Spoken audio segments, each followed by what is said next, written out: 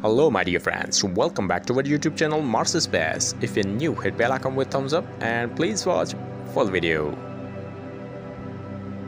Mars Perseverance rover captured this stunning video footages of Mars surface using Mastcam-Z camera. Mastcam-Z is a pair of cameras located high on the rover's mast and Curiosity spotted many mysterious rocky shapes and something like mysterious structure. Let's watch in close up. This rocky shape is looks like a face of predator from Hollywood character of an alien.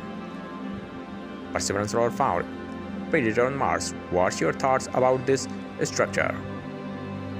It could be the evidence of life on Mars. Let me know right now. Like the video, share the video to your best friends. Stay connected with Mars Space. Thanks for watching.